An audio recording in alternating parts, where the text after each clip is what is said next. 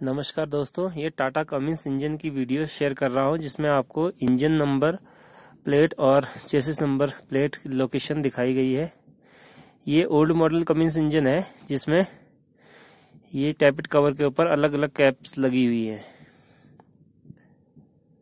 Cummins engine में सबसे बड़ी खास बात यह है, इसमें जो है एफआईपी जो है लेफ़्ट साइड में फिट होता है। अगर हम ड्राइविंग केबिन में बैठे हैं तो हम देखेंगे इंजन के लेफ़्ट साइड में एफआईपी फिट है फ्यूल इंजेक्शन पंप और उसके जस्ट सामने में टाइमिंग कवर के ऊपर, ये एक प्लेट लगी हुई रहती है।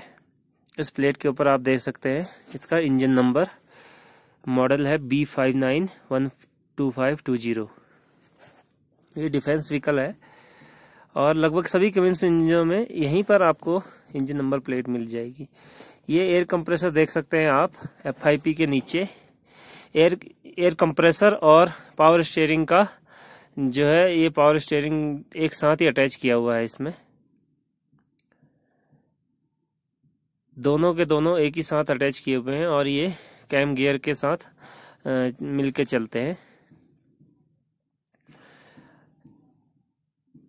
कमिंस इंजन में इंजन के लेफ़्ट साइड में एफआईपी फिट होता है और टाटा का जो अपना इंजन होता है, इसे सोलह तेरह है।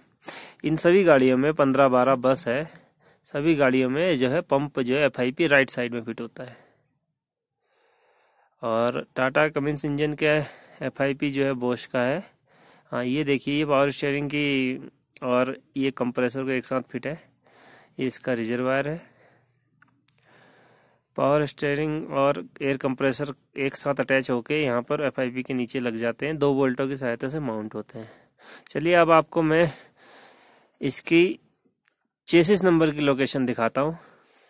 आपने इसके इंजन नंबर की और मॉडल नंबर की लोकेशन आपने देख ली है।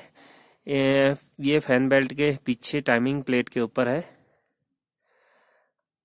अब मैं आपको चेसिस नंबर दिखाता हूँ। ये टाटा 713 मॉडल है। ये डिफेंस व्हीकल है। इसको ढाई टन भी बोलते हैं। इसकी कैपेसिटी है। ये देखिए, ड्राइविंग केबिन के बिल्कुल नीचे, जस्ट राइट साइड व्हील के साथ में जो है चेसिस के पास आपको ये चेसिस नंबर दिखाई देगा। तो दोस्तों, ये चेसिस नंबर, इंजन नंबर के लिए मैंने वीडियो बनाई थी। अगर आपको वीडियो अच्छी लगे, जानकारी अच्छी लगे तो मेरे चैनल को सब्सक्राइब कीजिएगा। जय हिंद।